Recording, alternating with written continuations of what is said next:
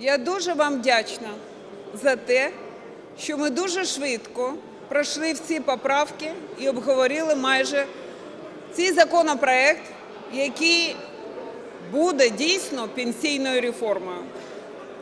Я ще раз хочу вам сказати про те, що 10 мільйонів наших громадян чекають зараз підвищення пенсій. Осучаснення пенсій 5,6 мільйона наших громадян. Це в середньому 700 гривень. Збільшення мінімальної пенсії на 140 гривень – це буде 1452 гривні. Жінки, які вийшли на пенсію достроково, їм зменшили пенсії за рахунок тої пенсійної реформи, яка була в 2011 році, вони теж отримують справедливу пенсію, свою зароблену пенсію. Всі ці, які вже багато років отримують 949 гривень, вони теж будуть отримувати пенсію не меншу, ніж прожитковий мінімум.